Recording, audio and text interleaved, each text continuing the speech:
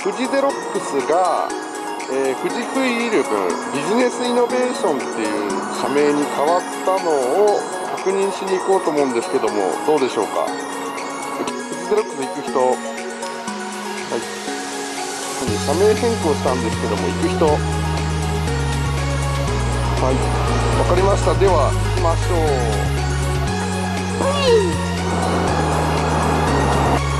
ワンピース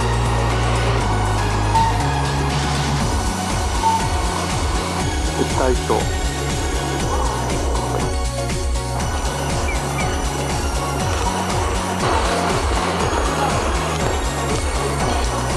任天堂。